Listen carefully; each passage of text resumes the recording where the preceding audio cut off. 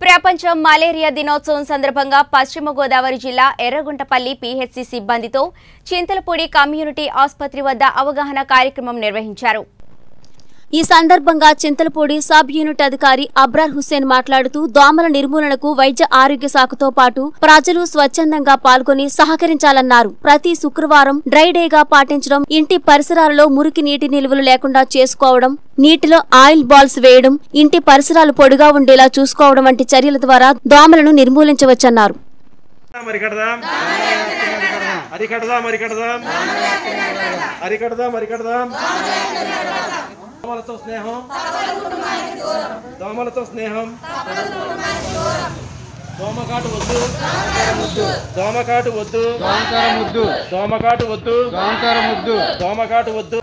ఈరోజు ప్రపంచ మలేరియా దినోత్సవం సందర్భంగా చింతలపూడి సబ్ యూనిట్ పరిధిలో దాదాపు ఎనిమిది పిహెచ్సిల్లో అవగాహన కార్యక్రమాలు నిర్వహించడం జరుగుతుంది.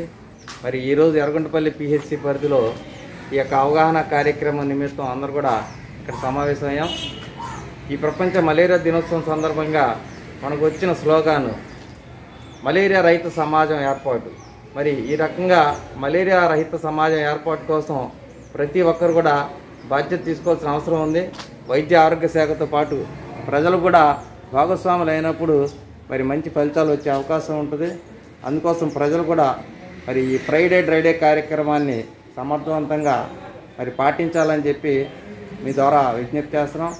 అదేవిధంగా ఎక్కడైతే దోమలు పెరుగుతాయో దోమ నిల్వ ఉండే అవకాశాలు ఉన్నటువంటి ఆవాసాలని ప్రతి శుక్రవారం ధ్వంసం చేయడంతో పాటు ఈ దోమల దోమలు కుట్టకుండా దోమతెరలు వాడడం అదేవిధంగా మరి దోమలు కుట్టకుండా లేపనాలు ఓడమస్ లాంటివి వాడడం మరి ఇలాంటివన్నీ కూడా పాటించడం ద్వారా మరి మలేరియా రైతు సమాజం ఏర్పాటు సుసాధ్యం. దానికోసం ప్రతి ఒక్కరు కూడా కృషి చేయాలని చెప్పి మరి మేము అందరికీ తెలియజేస్తా ఉన్నాం. ముఖ్యంగా ఆశా వర్కర్లు గ్రామీణ స్థాయిలో ప్రజలందరికీ కూడా ఈ జీరో మలేరియా కాన్సెప్ట్ని మరి అవగాహన కల్పించాలని చెప్పి కూడా మీ ద్వారా విజ్ఞప్తి చేస్తాం.